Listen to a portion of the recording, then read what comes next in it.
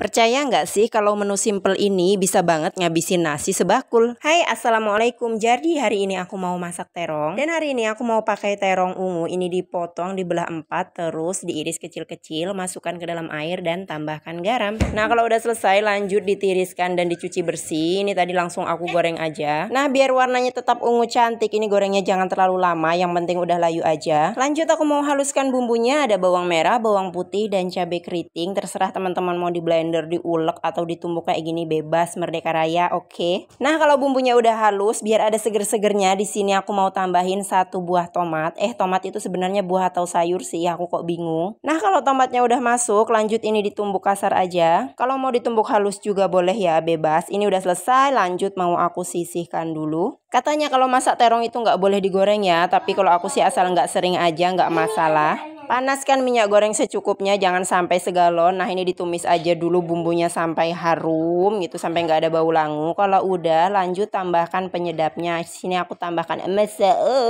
garam dan juga gula pasir. Setelah semuanya masuk, ini lanjut kita aduk-aduk sampai rata. Kemudian masukkan terong. Setelah bumbunya udah tercampur rata, masukkan terong, aduk rata. Jangan lupa koreksi rasa. Nah ini dia sudah jadi sambal terong ala Mak Rusmi. Selamat mencoba.